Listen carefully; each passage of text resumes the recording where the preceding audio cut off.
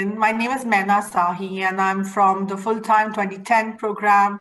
I moved to London about two and a half years ago, though it feels less than that because I spent one year of that lo- locked down, you know, in, in my apartment. Uh, so don't feel like I've been in London long enough. But I moved here two and a half years ago uh, and immediately found my community by joining the club um, committee here. Um, but I was very active prior to that in the India alumni community as well, um, and always a big um, advocate of bringing all our alums together and trying to get to know each other and do work together as well. Um, I'm quite excited about today's session because the person who um, we will be speaking to is a very good friend of mine, Ruchira. Um, Ruchira Chaudhary has recently released a book um, and actually, I have it here. I, I, should bring it next to the screen so I can show it. Uh, but um, I'll do it for you. I'll do, it. I'll do the honors for you. Yeah. Perfect. um, yeah, I have a couple of copies lying in, the, in this apartment to send as gifts as well. Uh, she's written a very interesting book on uh, on um, why coaching is an essential leadership trait. But before I get started on the, on the book and uh, talking about Ruchira, um, I just want to acknowledge that Ruchira is joining in from Mumbai, and the COVID situation in India is is really tough right now.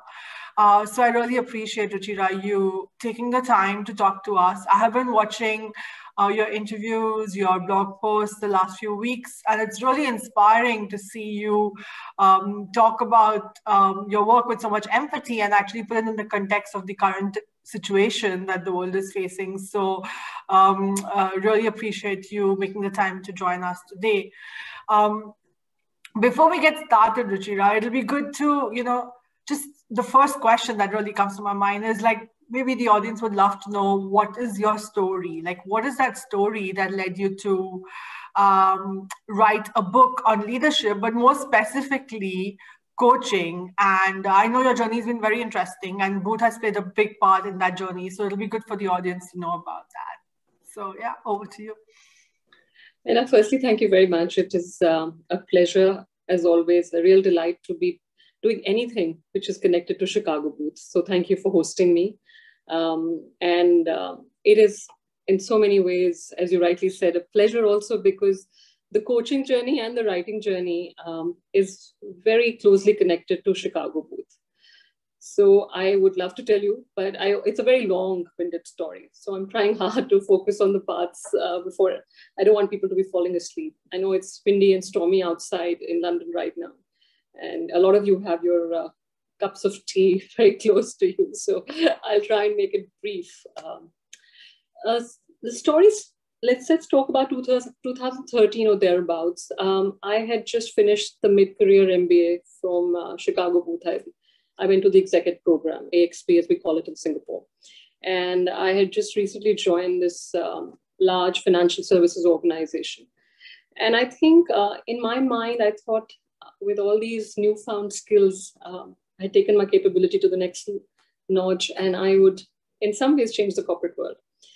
Uh, the reality was rather different. You know, I had a background in consulting. I did a lot of work in the human capital strategy space, which was essentially organization design. I've done some very high profile M&A integration projects, etc. Now, uh, post Booth, this was my first full time gig after many years. I'd been consulting um, with this firm in, in the Middle East and North Africa.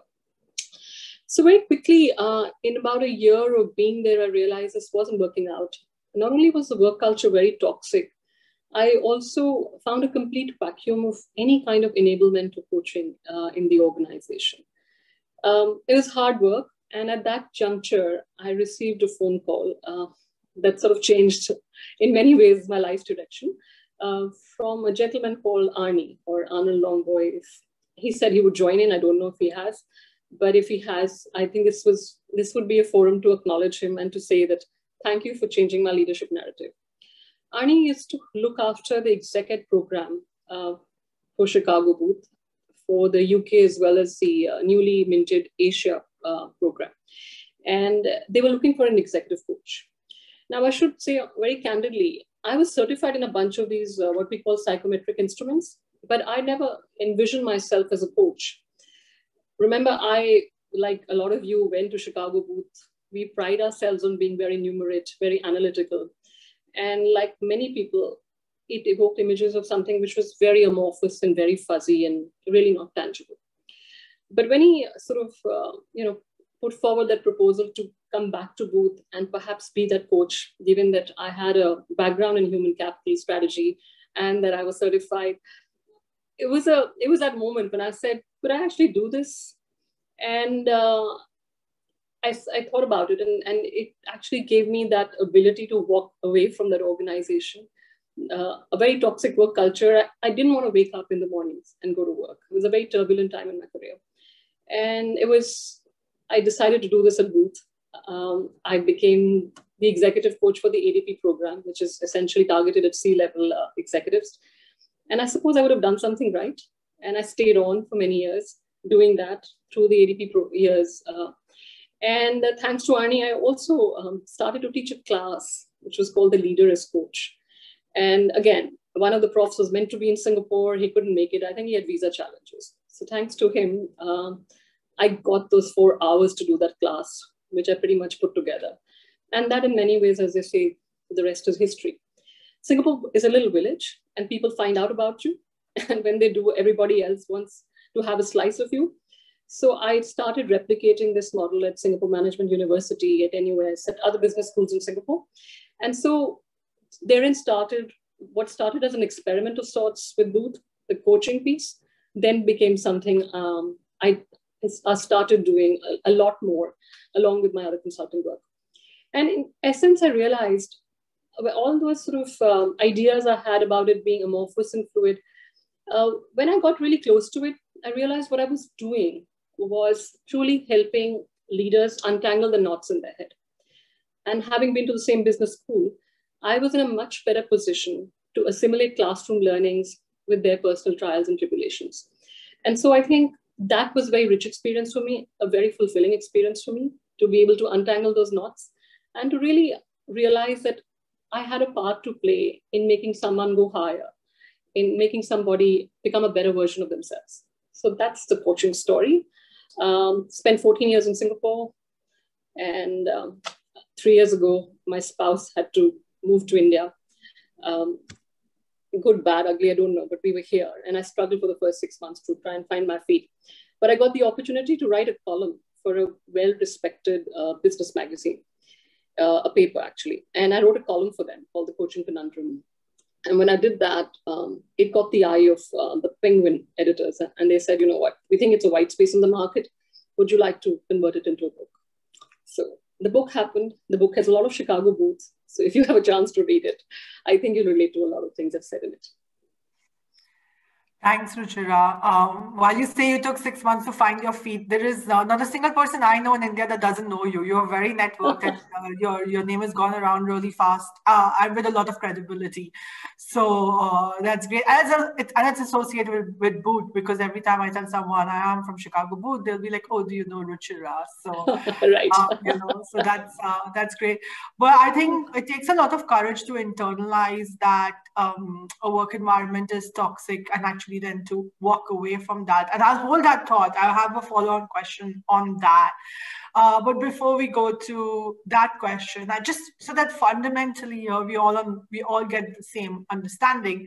Maybe you can help us understand a little bit about what's the difference between coaching, mentoring, and being a sponsor. Because all of us who are in senior roles are managing people are at some stage in our careers doing one of these but what is the difference and how do you want to consistently be a better coach uh, and differentiate yourself from being a mentor and sponsor. And then before just handing it back to you, for those who just joined, feel free to put your cameras on. Um, next to your names, you can also put the year that you graduated from Chicago Booth so that everyone knows each other. And uh, if you have any questions, do start putting them in the chat box. So I'll make sure we, we get to ask them. Over to you, Ruchira. Yeah. Okay, fantastic question. Uh, let me just show you the book cover again, right? Um, then we'll start. I gave um, my publishers a very, very hard time, I have to be honest. I mean, I'm high maintenance, but this one I think took the cake. So visually, as you can see it, this is a spaghetti or a knot, and that knot uh, untangles, entangles, and that's where they would keep stopping. And my brief was very simple. Um, a psychotherapist can do that for you. Yeah, a psychiatrist can do that for you. Take away the white noise.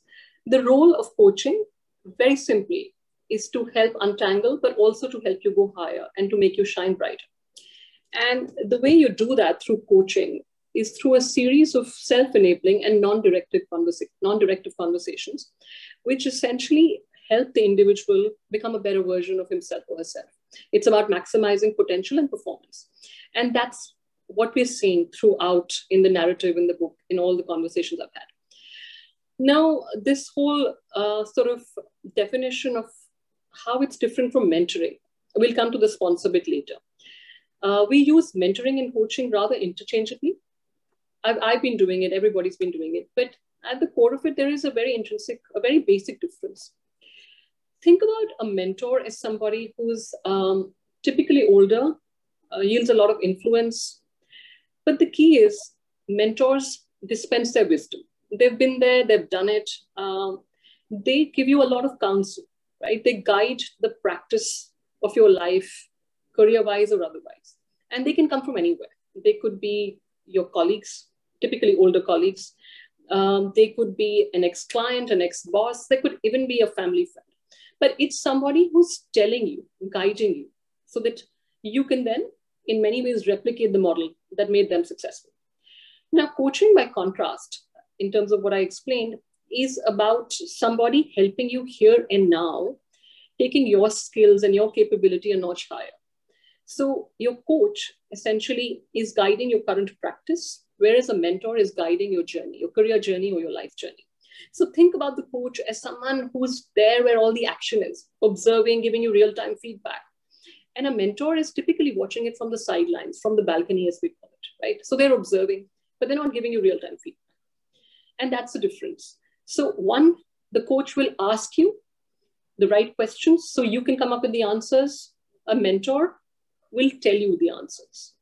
And that's really, in essence, what a mentor and a coach does. And I encourage everybody to have both, by the way. Uh, these are not mutually exclusive. Sponsorship is, I would say, fairly recent terminology. We started using it only in the last few years. And sponsor, a sponsor is an individual who goes that extra mile, who could be your mentor, but apart, it's not just about telling or guiding or advising. This sponsor actually sticks his or her neck out. This individual will pick up the phone and open doors for you. We'll say, hey, I think Richard Ruchira's fantastic at M&A. Uh, do you think we could get her the next assignment? Or uh, this individual could say that, you know, um, we, we, we, need, um, we need new faculty members and we need somebody who can teach leadership, but I know somebody. So this individual is not, will not simply tell you what to do, will not simply uh, give you counsel. And frankly, we, we end up getting a lot of people who help us with that bit. It's really about going the extra mile, it's sticking your neck out, it's investing in you, right? So think about coaches. Coaches help, um, mentors guide or tell, and sponsors invest in. Does that help? Yeah, I think that really helps. And I think it's important to know that because what we what your book is all about is about how to build how to how to think more like a coach leader rather than a mentor leader or just a sponsor. That means helping your teams and helping your people actually self internalize their potential and then drive towards it. Well, how do then you get to that and how do you how do you um, uh, build that skill set and that trait in yourself to, to be that coach leader. But you know, we are living through very unprecedented times, and um, for a lack of word, we are living through a crisis. You know, and uh, uh, it's so much more right now in India when we think about it. Does the role of a coach leader change in times like this? Uh, and if so, how? And then, if someone's a coach leader, what could they really achieve or deliver in times like this that somebody who's not a coach leader will not be able to achieve? See, um, I think it's a great question, but I also think it's very layered. So there's no simple answer to it. There are good coaches, uh, and they are abysmal coaches. And let's face it, the research tells us that most managers fall short of being good coaches. And that's not me telling you, that's a lot of research. It's Satya Nadella expressing disappointment when he walked into a broken Microsoft and realized that Literally, less than 5% of the leadership team spend time on conversations. Study after study in HBR tells you that managers or leaders think they're coaching when they pretty much are just telling people what to do. They block that 30 minutes in the calendar and they dispense all that wisdom. And in many ways, it's about creating mini me's. This is what made me successful in the past. This is how you would do it. And that, as I said earlier, goes against the very grain of coaching. Coaching is all about asking, not telling. It's about surrendering that degree of control. It's about giving more power to the question than the answer, right? So that's coaching. And even under even under regular normal circumstances, most managers fall short as coaches. But frankly, times like this, uh, when we're in a crisis of mammoth proportions, right? Um, more than ever, we need our leaders, our managers to step up and be those coaches and enablers. And I'll, I'll sort of unpack that thought. We're living in very uh, complex times, right? Um, our organizations are very wired, connected. It's a very complicated ecosystem. And now we have this pandemic. And um, the difference between a complicated problem is that a complicated problem has a solution. It has best practices. You've been there, you've done that. Experts tell you. In a complex situation or a super complex situation, I don't know if there's a good word for it, that like we're facing, no leader can have all the answers, right? There's not there's nothing linear about it. We don't know if we do A, will that lead to B or C? So it's all trial and error.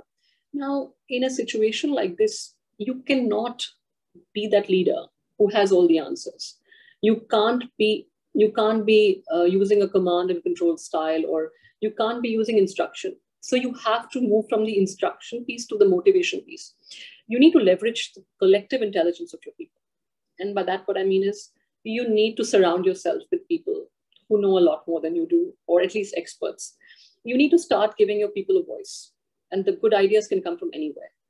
The businesses that have managed not just to survive, but thrive during the pandemic, who've completely pivoted their business models or changed these business models overnight, are those that gave a voice to everybody, that gave people a platform for their suggestions and ideas, right? So that's one. The other is these, these waters are very, very choppy, right? You need a leader with a very steady hand at the helm. And you need to think about, you know, you need to think about a few things. So trust, resilience, these have to be your rudders. Trust, building the, your reservoirs of trust has never been more important, right? Uh, again, a very recent study tells us more than 40% of employees feel that their bosses don't trust them. They're constantly checking in on them or checking on them. Um, you know, your personal and your professional worlds are now constantly colliding. You, this is this whole thing about always being on. And as a leader, more than ever, you truly need to think about empathy.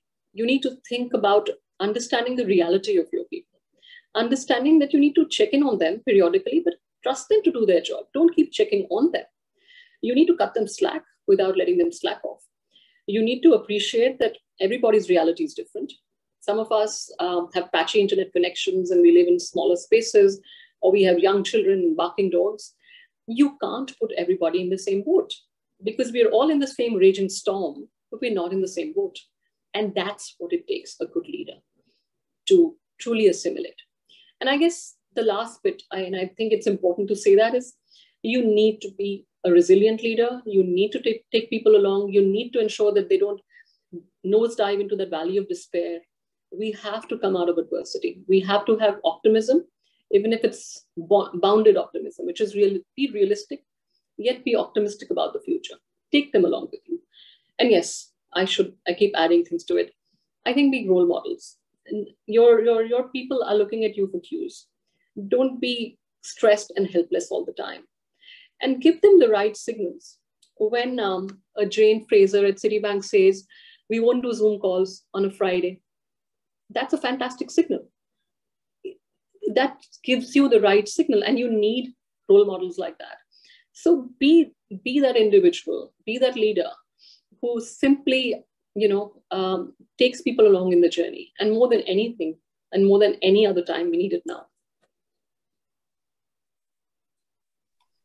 Thanks, Ruchira. I mean, you you mentioned really some very interesting points there, and most of them allude towards having, um, you know, more empathy, more compassion, some of the, the more softer skills of um, checking in, uh, showing emotion at these times, uh, being authentic. Actually, you know, if, you know, if you're telling your employees that look, it's okay to not feel okay, and then you yourself don't express it, then um, uh, you know, it, it doesn't really serve the purpose.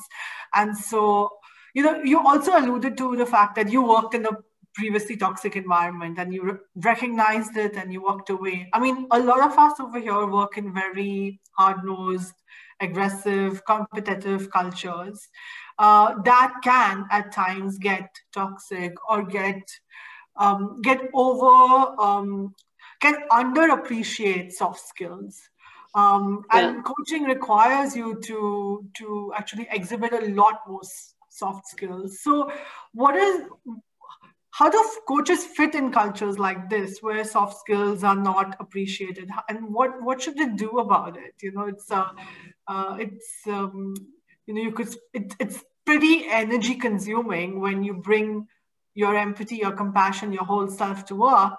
Uh, but if that environment doesn't appreciate that and you know that the right thing is to coach your team you, you know the right thing is to support your team but the the culture is different how, how do you work in that environment I know that's not an easy question, uh, but I'm hoping to get some easy tricks uh, to take back to work. Well, a couple of things. For starters, um, you know, what we call soft skills uh, end up being the hardest things. And uh, a lot of you, I, I don't know what life stage you are in, but you'll appreciate uh, 15, 20 years down the line when everybody's in leadership positions after having graduated from business schools. Um, you do a CEO survey or a a senior leadership survey and they'll say the hardest skills are what we perceive to be the softer skills.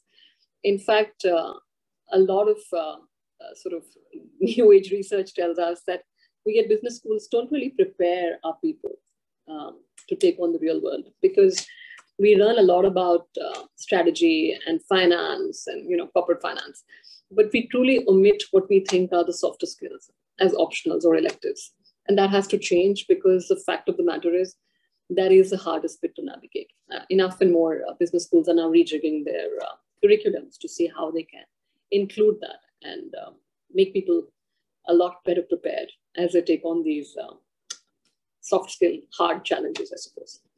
So, to your point about being in cultures where coaching is not um, welcome or is perceived to be soft and emotional, um, I guess my only advice is you get good coaches everywhere, right?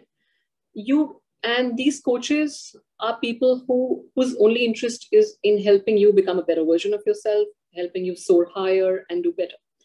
Now if you're somebody who believes in it but feels trapped in a culture that doesn't appreciate it i would simply recommend that you um, perhaps understand the cultural nuances a little bit better and mold your coaching style right so at the very outset, I do want to say that coaching is not just warm and fuzzy and soft and nurturing. It comes in many ways. There's a lot of tough love coaching as well, right? We've seen, we have enough and more examples from history where some of the most successful leaders have been very relentless in their pursuit of excellence. They say that even a mild mannered Tim Cook can be quite a tough cookie when he wants to be. But the difference is a lot of these people, no matter how tough they are, their exterior, all that they do comes from a place of love. And they are pretty candid in admitting that the only thing they want is for the individual to rise higher. So I would encourage any manager who's in a culture which is seen to be more command and control style, more instruction than motivation, um, perhaps customize your style of coaching. Remember, coaching isn't just about blocking 30 minutes in the calendar. It's not just structured conversations coaching comes in many shapes and forms. Coaching happens in the moment. It happens informally and formally. It happens in conference rooms, but it also happens in um, you know car parks. It happens in the moment when you give somebody real-time feedback. Coaching happens when you shine the light on somebody in your team. Coaching happens when you say, "Hey, the global head is in town. Let me introduce him or her, you know, to somebody who works with me." So you could still go ahead and be that coach. And if you are in a position of influence, I would say try and change the culture to the extent that you can. These are baby steps. It won't happen tomorrow. And remember, in these cultures, just as you will feel uncomfortable coaching, you will find that the coaches will not want to be coached because they are so used to a manager giving them answers. Remember, that's how we were taught at business school. Good managers always have the answers. So if you suddenly start asking somebody a bunch of questions, he or she is not going to be okay with it. It's very uncomfortable, right? Because we've always been told what to do. Now suddenly you're asking me a whole bunch of questions.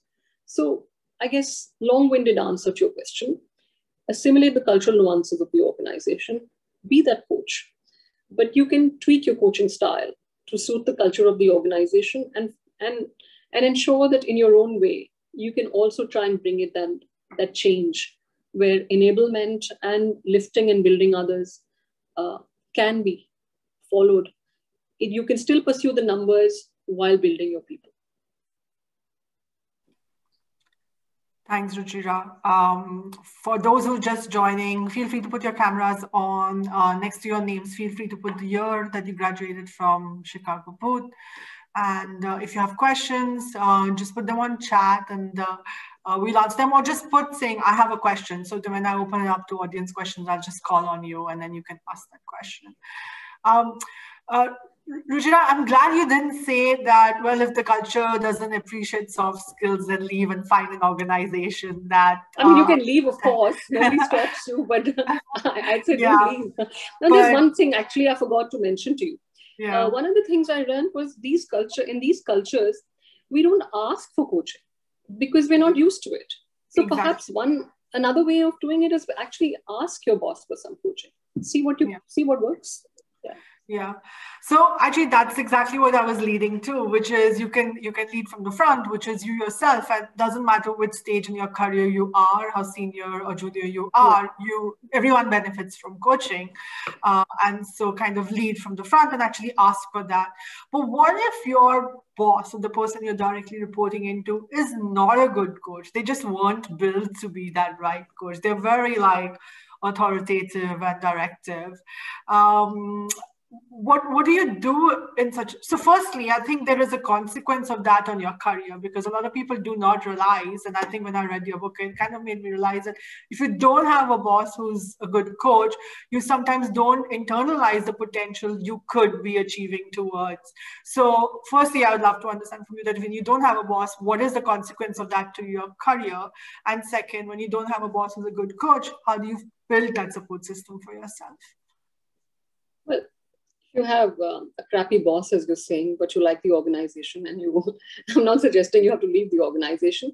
Um, firstly, perhaps you've never had a conversation with the individual. So maybe it's worthwhile seeking that coaching because um, the boss doesn't know what he doesn't know, right? Uh, it's not something that is done in the culture. Uh, you know, this this thin line between appraising, managing, and building others. Uh, most most managers will not coach because they think it's their job, job to appraise you and give you your final compensation or at least play, a part in it at the end of the year. And uh, hence they think building you or helping you is not part of you know their job description. And it's something that HR should be doing or external coaches should be doing. So as I said earlier, first try seeking it. And if it completely eludes you, or you have this, as you said, hard-nosed boss who's very cut and dry, if you're not getting it from your boss, then find somebody in the ecosystem who can support you, uh, who understands who you are, what the work that you do, um, and that could come from a peer. So peer coaching can be fantastic as well. Ideally, somebody you trust, obviously. And it could be your boss's boss uh, if you feel you have a relationship.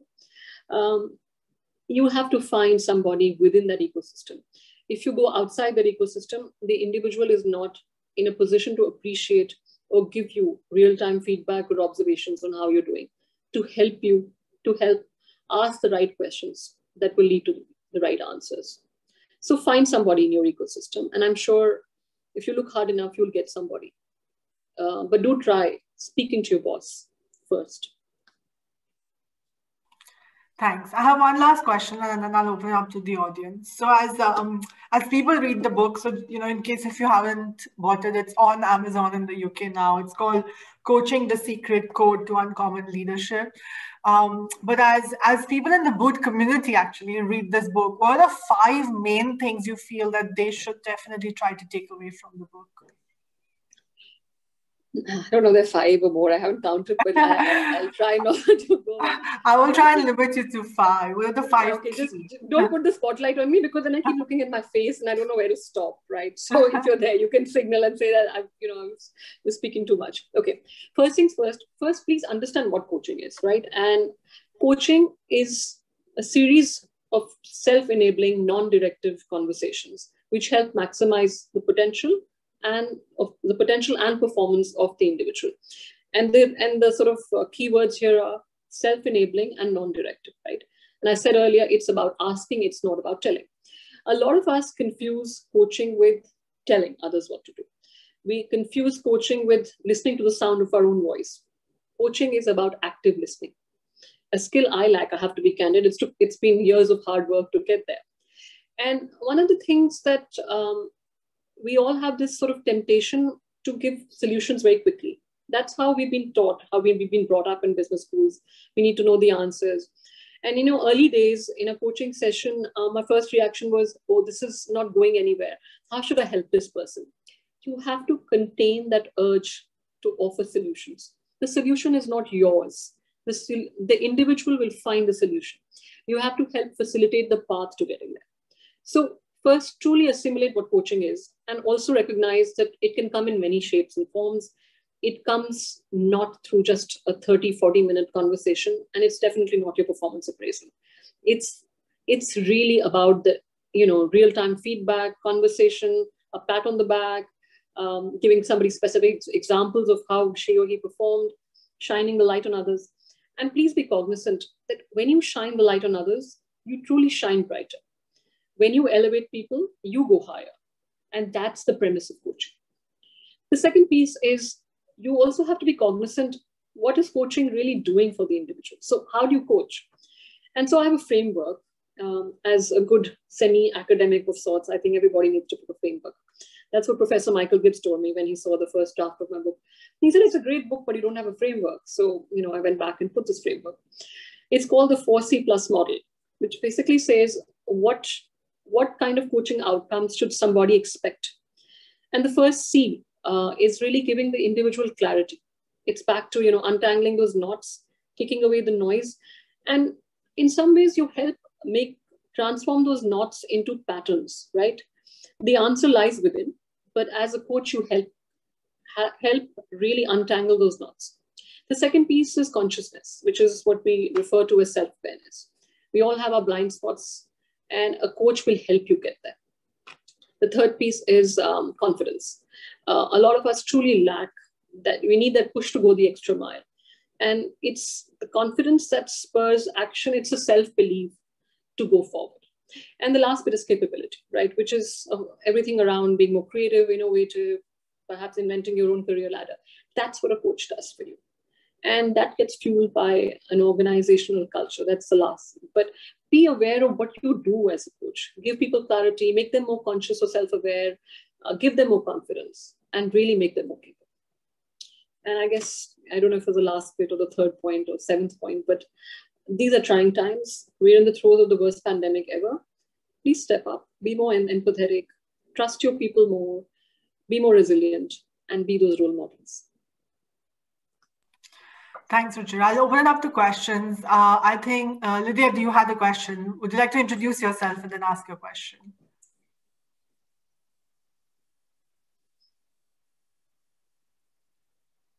Okay. Hi, hi, I'm Lydia. Yes, I'm just um trying to find a way to unmute myself. So uh, yeah, my question is um just uh, some very simple and direct. Uh, what are some questions that like a coach should always ask when they start with uh you know the the one that coaching, and also some of are there any questions that you can think of that's uh, commonly asked but really should be avoided? Okay, so um you know they say the whole um, the premise of coaching is that you don't ask closed questions, right? You ask open-ended questions, right? Um, and there isn't a specific sort of order of questions, but do think about the current context. Coaching isn't um, done in a vacuum, right? So if Lydia's done a fantastic presentation to, let's say, the investors, my role as a boss or a manager would be I mean, if I feel that you could have done better or there were parts of the presentation that perhaps needed more work, my role as a coach would be to make you aware without giving you that negative feedback. So coaching could go something like, so Lydia, how do you think the presentation went? Okay. Were you happy with parts of it? Or could we have done something better? I, I'm just making this up, but what I'm saying is we don't do coaching in a vacuum. It has to be contextual. It could be something that happened recently with a client. It could be something that you did as part of uh, you know your current uh, work practice. So think about uh, coaching in the current context. And there's a model that a lot of coaches use. It's a very basic model. It's called the GROW model, right? It's called um, GROW. G stands for the goal. So what is our goal today? R is what is your reality? O is uh, perhaps all the obstacles that you will have to look at. And the W stands for the way forward. And if you Google it, there's a, I mean, there's thousands and thousands of hit, hits on uh, giving you examples and samples of these questions. We call them the uh, Socrates type of questions, which are open-ended. So you're, you, you, you don't lead people to the answer, you help them. You help them understand for themselves that they could have done something differently. And, uh, and then you lead them to that bit, but without actually uh, sort of saying, hey, I think um, I think that presentation didn't go as, as well as it did the last time. You'll come to the realization yourself. That's what the coach is helping you do. Thanks. Thanks, Lydia. Thanks, Ruchira. Um, one of our colleagues on the call has recommended sharing his coaching experience. But before I open up to that, and I'm sure a lot of people here have some very interesting experiences of being coaches or being coached. Uh, and I think we can spend the last 10 minutes discussing that. Any more questions from anybody else um, to ask Ruchira, either about the topic or just about her book or anything else?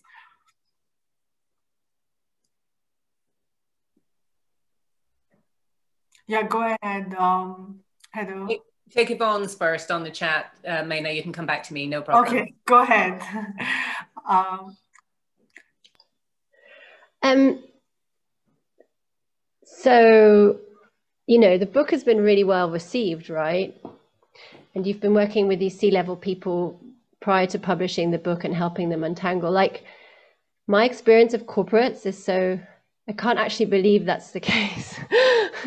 For me, like coaching is, I've had to get a coach, you know, and it's always something I have to get extra. Yeah. It's not within the forms, but is so.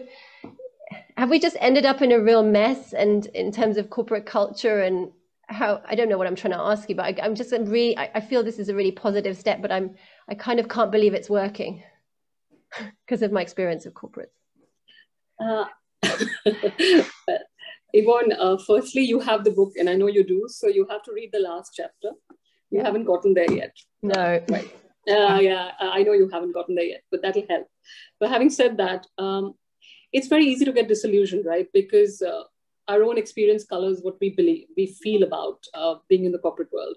And believe me, I was pretty much uh, in the same boat when I was uh, exiting this financial services firm it was a complete vacuum of any kind of enablement. And in fact, I remember I'd uh, made this presentation. I was called in on a board meeting with my boss, and the Asia Pacific CEO actually yelled at me uh, across the corridor uh, with a lot of people in the audience.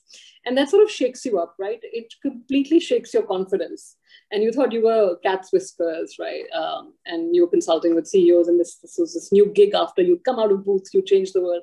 And then you have this man who's screaming at you. Uh, with a pretty um, high profile audience to boot. Um, so I think my, my answer is this going to be the same. There are cultures that fuel coaching and the cultures that don't. They're very debilitating for individuals. You need to find an organization that works for you. If you truly are in a, you have time and again not um, had the privilege or the pleasure of having some great coaches. And I should add that these coaches can come in many forms, right? They should be your bosses, but they could also be clients. They could also be people that uh, have helped you along your journey. I've had a couple of um, profs at Booth who've been great coaches. I would say more mentors than coaches because they've been guiding me as opposed to helping me with my current practice. But you have to embrace and find the individual. My clients have morphed into good coaches because while I was not, um, you know, I was not reporting to them fully in that sense, but they saw the work that I was doing. So they were in a position to give me real time feedback.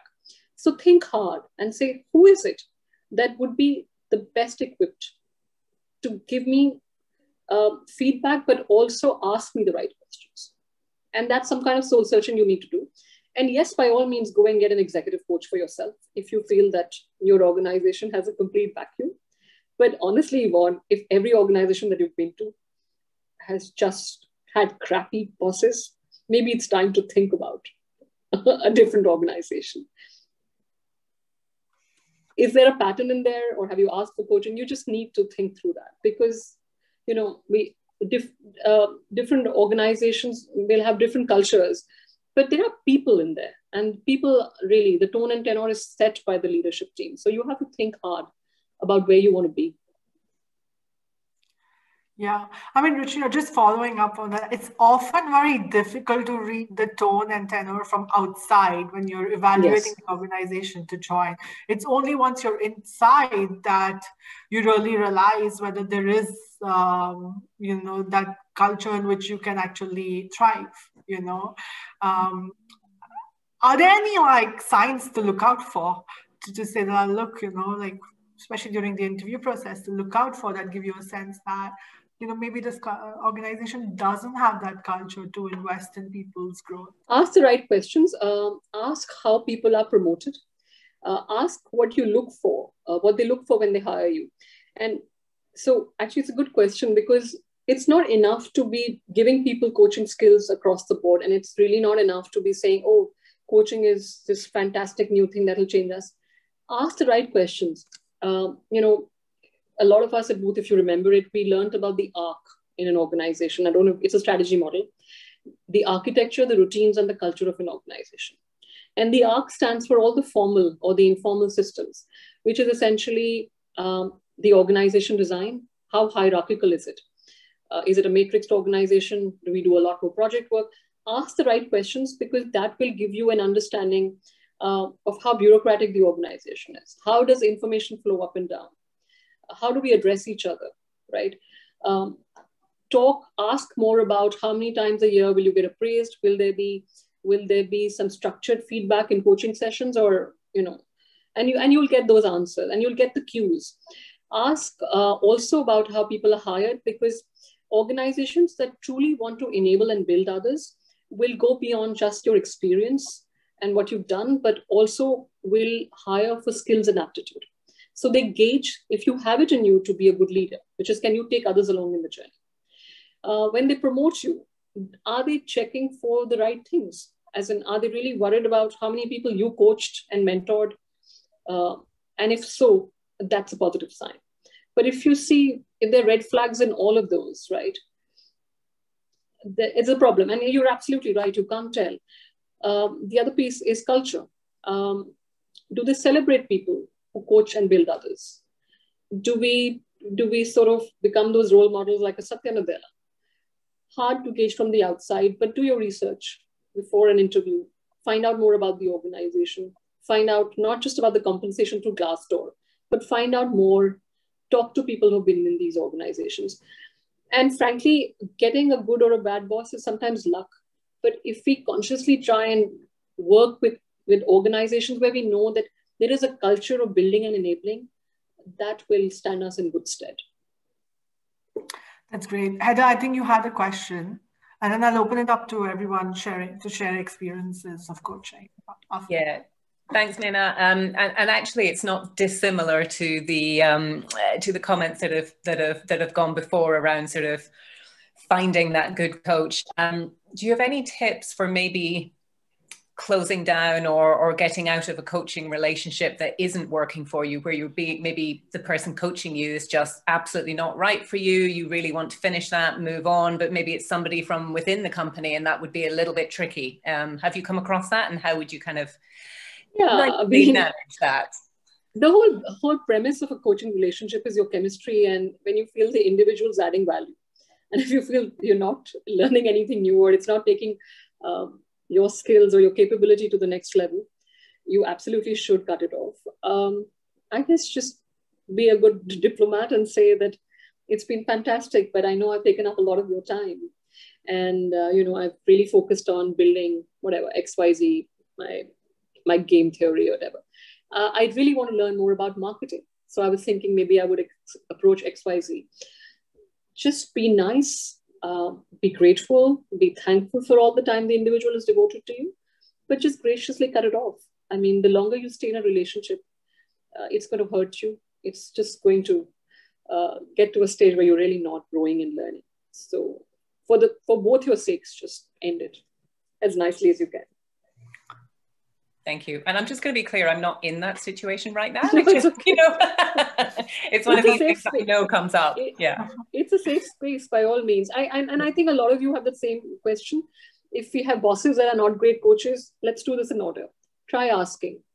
Sometimes when you don't ask, you don't get. And perhaps the individual doesn't know what he doesn't know or he, she doesn't know. Try. That doesn't work. Look around in the ecosystem. Can somebody else be that coach? Are there people you trust? Are there people who can guide you on your current practice, as I keep calling it? And that can come in the form of a peer. It does not have to be somebody that you report to. It could be somebody who you respect and trust. Um, it could be your boss's boss, frankly. You know, you know, you can cross that line because this is this is about enabling and and taking yourself to the next level, or just find somebody in a different department or a different function. But find, and if all else fails, get yourself the executive coach. You can get the executive coach anyway. I, I just say the two have to tag team. But I think it's a boss's and a manager's foremost responsibility to build and nurture the next line of leaders. And as you rightly said, uh, and as Yvonne was saying to me, more often than not, that doesn't happen. I mean, all the research is telling us that most managers make abysmally terrible coaches. Thanks, Ruchira. I'll open it up to experience sharing. I think some of you all had, I can't remember who put it on the chat, but somebody, somebody mentioned that they wanted to share their experience of uh, being coached or being a coach. So you're just opening it up to everyone to share that. Sure. Yeah, it's, uh, it's my name, Dean. I would like to uh, share my experience about coaching in my company. Let me share my, uh, let me show the video. Um, so um, in my experience, um, exactly like the present, uh, the author said, I couldn't say your name, sorry.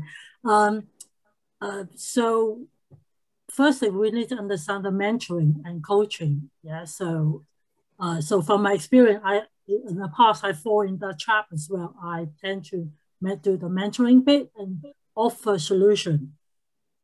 But later, when I learned how to coaching about two years ago, I found coaching is much, much powerful because all of us, we all individual.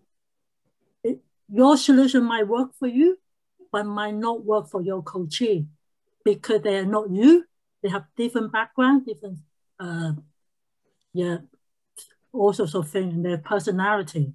So, as, as you say, uh, listening and also guide them to come up their own solution and then the act of listening is quite powerful because sometimes they come to you, they might not um, tell you the, what their problem, the, the underlying problem, hinder them have the confidence.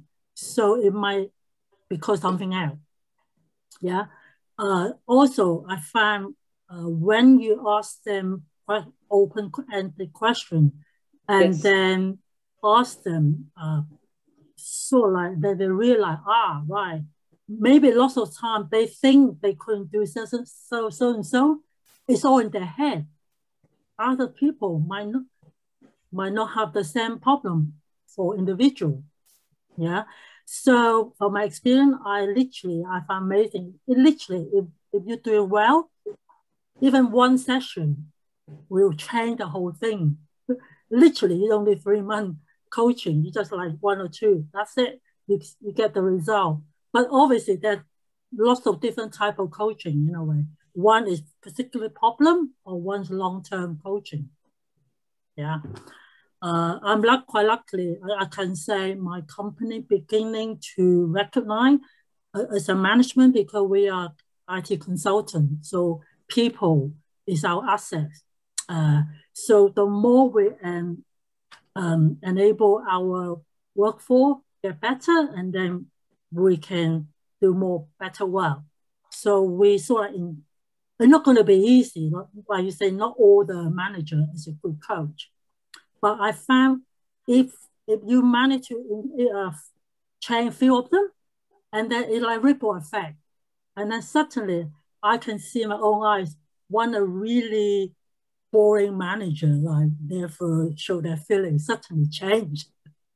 so that, that's my experience, right? So that's what I would like to share with the group. Thank you. That was uh, that was very very uh, useful. I really enjoyed it. Thank you so much for sharing that. Uh, anybody else wants to share any experience of being coached or being a coach? I should say though, before we get another question, is that uh, if we do believe uh, in this whole enablement and coaching piece, I think we should truly make that attempt to be coaches ourselves. I think that's where it starts in many ways. To we are we're all very keen on seeking coaching and i think perhaps we can also reflect on our own management styles. How, are we building people? Are we enabling them? Are we shining the light on them? Are we making them more confident? Are we giving them more clarity? Uh, that i think you can sow the seeds in your own way cannot agree more um, so I'll maybe share one experience I've had. So often I feel like my tendency used to be that when things don't go right, or when these knots, as you mentioned, are too complicated, I can't figure them out. That's when I go to a coach. And I've yeah. realized in my experiences that every time that happens and I go to the coach, I'm actually looking for a solution. So I'm actually not yeah. really looking for a coach. I'm looking for a mentor, someone who's been through that experience and can tell True. me exactly how they handled it. Uh, I found the flip side of when things are going well, uh, or I'm working towards specific transitions like a promotion or a change or, or something like that. That's when when I sign up for a coach preemptively to say that you know there could be some growth opportunities. I don't know what they are. Let's get a coach and try and work and decide what they are, and then work on them. I felt like those are the times when coaching has really helped me. Um, but I do see a lot of friends reaching out since they know I've gone through coaching before that, you know, when it's when when shit hits the fan is when they're reaching out and saying, Hey, I think I need an executive coach. And I'm not sure whether that's the right time, but that's my personal experience uh, with with with coaching. Um, I'd say get an executive coach anyway. I mean, if the shit has hit yeah. the ceiling. Well, luckily um, I have you. uh, I, I should also add at this juncture, there is absolutely um, you should go ahead and seek those mentors, right? Easier to get them, correct? And nobody says you can have one mentor. You can have a board of advisors, a mentor who's an expert in a domain, a mentor who knows your industry, a mentor. So if you can get yourself really, if you can stay connected with these people who, in the course of your career and your leadership journey, have had an, a lasting influence on you, I encourage you to stay in touch with them. There's nothing harm, there's no harm in the principle of somebody giving you advice. That has its place. So it's not to say mentorship is not good. But when organizations try to randomly pair people and say, oh, this one's going to be your mentor, where the onus is on you to seek, you know, some organizations do this with a lot of fanfare and those programs fall flat. That's the kind of mentorship you don't want. You need to find mentors for yourself and see if those mentors can be sponsors for you. And I say that again and again because it's easy to give advice. See if you uh, can truly nurture people who know you for who you are. They've seen some fantastic work you've done, uh, ex bosses, you know, they usually make good sponsors or even ex clients because they've seen what fantastic work you've done and they will not hesitate to recommend you for a new role, you know, a promotion, etc. So keep keep this board of advisors with mentors, sponsors. And yes, the coach, which is what we're talking about today, the coach should come in the form of your immediate boss. But when that's lacking in the current individual, then find somebody in the ecosystem. And even if, if that fails, get yourself that executive coach. That executive coach, incidentally, can tag team with your boss, with other people in the ecosystem. These are not mutually exclusive things. But find yourself that board of advisors as you move forward in your career journey. Thanks. Lydia, last question to you, and then I think we will we will um, we close the session. Oh, hi, yes, I, peer mentoring? Is that what you're asking? Sorry, Sorry Lydia had a question. Lydia, go ahead. Yeah. Yeah. Okay. I, I just saw Tiwa had a question on the chat, but I'll just shoot with my question first yeah. anyway. so um yeah, I mean there were time that was a long time ago when I was in a, almost like uh in university that I was kind of like coaching a, a younger student. But that yeah. experience kind of also taught me that you know when you've built once you build a trusted relationship with your coachee and yeah. that person is someone who's really in need of help that can be a very um i say close relationship but at the same time uh, can be a burden to a coach themselves oh, yeah. So in oh, such yeah. situation what's your advice to the coach okay i have to be very honest uh, and i you're not alone in this often when i do uh, coaching I get quite uh, emotionally entangled, uh, you know, in the right way, and it takes a lot of bandwidth. So, and oftentimes you have, as I said earlier, the urge to help somebody with an answer, but you know you shouldn't because it's their answer to find. It's their path that they have to traverse, not yours. Um, you have to very clearly make that distinction between being a coach and a crutch, right? Um, especially in this scenario where you're coaching somebody younger. Remember, a manager his or her coaching is like a continuum, right? It doesn't stop. As long as the individual works with you, you should be uh, making the individual a better version, making the person soar higher, etc. But these bursts of coaching are short and focused. Eventually, you have to make the individual self reliant. When we do executive coaching assignments, we keep saying that in the end, you have to be able to navigate your own career journey. We come in for short bursts right? But you need to be able to navigate the space yourself. Um, so you need to cut it off eventually. The second piece is often um, coaching becomes uh, like a cathartic experience. People talk a lot about their personal challenges, their problems. Uh, I'm not suggesting it happened to you, but I had this uh, gentleman from Turkey who kept telling me about his wife and his mistress and a girlfriend and how he was so stressed. Now, that doesn't fall into the realm of, I'm just giving you an exaggerated example. It's, it's a bit of a joke. So the fact is, you have to know your limits. You're not a psychotherapist. If someone is depressed, if someone's going through anguish in their personal life, you really cannot intervene. So you need to cut it off at that point. You need to make a very clear distinction between how you're helping the person become a better version professionally and steer clear away from personal stuff and also something that sucks up so much of your mind space. Great. So uh, we've run out of time. Uh, I know there was one more question on peer mentoring, but uh, I'm sure Ruchira will be very happy to answer it offline. So Tiwa, you should feel free to reach out to her on LinkedIn. Uh, but Ruchira, thank you so much for taking time. Uh, for everyone on this call, thank you so much for joining. Her book is available here in the UK now. Uh, but also it's I think uh, available in on Kindle as well now. So uh, feel free to order it and read it. Um, I also want to take this moment to thank um, Heather. She uh, leads the UK Alumni Club. Uh, and I mean, if it, if it wasn't for her uh, keeping us together and keeping the community going with some events over Zoom, uh, we probably wouldn't be seeing each other's faces for I don't know how long. So thanks, Heather, for constantly uh, keeping us together. And then thanks, Jenny and Penka, Jenny and Penka work with the alumni relations. I think everyone here knows them. They don't need an introduction. Uh, but, you know, we all just come on these Zoom calls and talk. They do all the hard work at the back end to make Indeed. this possible.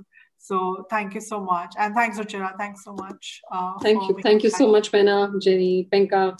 Uh, you guys are stars. Thank you. We just, as you, you rightly said, we just show up and talk. Yeah. Thank you, everybody, for being here. Appreciate it very much. Thank, Thank you, you, for Stay talk. safe, everyone. Bye. Thank you. Bye.